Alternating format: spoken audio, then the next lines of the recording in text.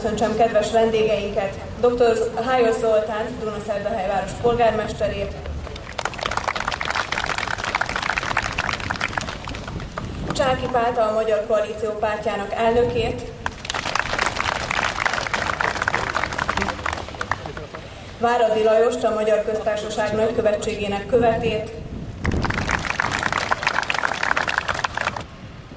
Szeretném megköszönni mindenkinek, aki itt van ezen a megemlékezésen, hogy elfogadták Dunaszerdei önkormányzat meghívását, és eljöttek megemlékezni az 1956-os sztálinista diktatúra elleni forradalom és szovjet megszállás elleni szabadságharc évfordulójáról.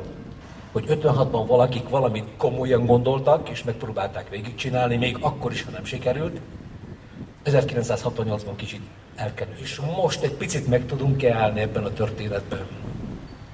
És most egy kicsit meg tudjuk-e fogalmazni azt, hogy mi ennek az egész történet folyamatnak az üzenete számunkra 2009-ben? Kedves barátaim, soha nem azok maradnak meg, és soha nem azok maradnak fenn a történelem rostáján, akik pillanatnyi érdekekért elárulják önmagukat, addigényüket, közösségüket vagy népüket. Ez 1956 nagy üzenete számunkra, szlovákiai magyarok számára 2009-ben is.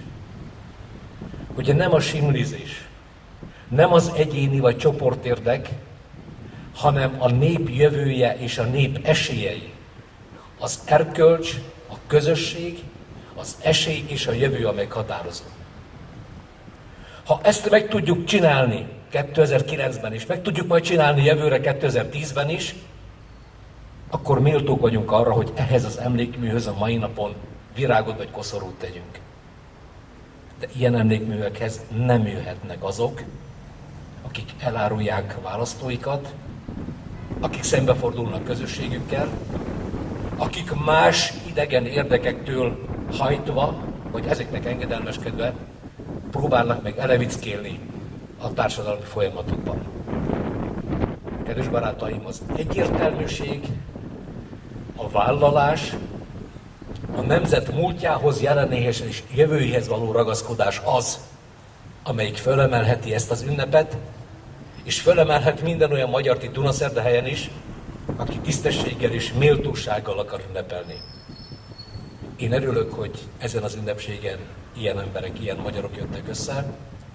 Megköszönöm, hogy itt lehettem, megköszönöm, hogy szólhattam önökhöz, és megköszönöm, hogy én is leteltem a saját koszorúmat ehhez az emlékműhöz. Minden jót kívánok, esélyt, reményt és jövőt kívánok mindannyiunknak. Köszönöm, hogy meghallgattak.